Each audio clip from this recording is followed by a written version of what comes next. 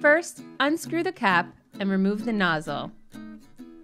Use plunger to clean the nozzle. Give all parts a good rinse and brush with hot soapy water.